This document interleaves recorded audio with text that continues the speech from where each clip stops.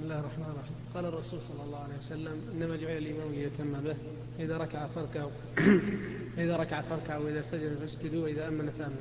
ما معنى قول الرسول صلى الله عليه وسلم إذا آمن فامنوا؟ يعني إذا شرع في التأمين فامن أو إذا بلغ موضع التأمين فامن لأنه ثبت في صحيح مسلم عن أبي هريرة أن النبي صلى الله عليه وسلم قال إذا قال الإمام ولا الضالين فقولوا آمين وهذا نص في الموضوع واللغة العربية يطلق فيها الفعل ويراد الشروع فيه. يراد الشروع في الفعل وإلا وإن لم يتحقق الفعل.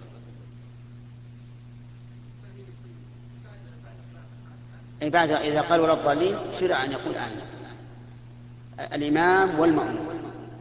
وكذلك المنفرد.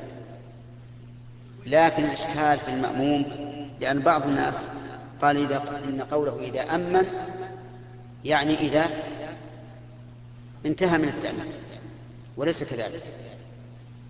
بل إذا بلغ موضع التأمين فأمن. كما قال إذا ركع فاركعوا. هل معناه أننا ما نركع حتى يرفع الإمام من الركوع؟ أسألك. بعده وهو راكع. هذا نؤمن معه وهو, وهو, وهو يؤمن. ثم حديث أبي هريرة الذي ذكرت لك في صحيح مسلم يوضح ذلك. إذا قال ولا الضالين فقولوا آمين.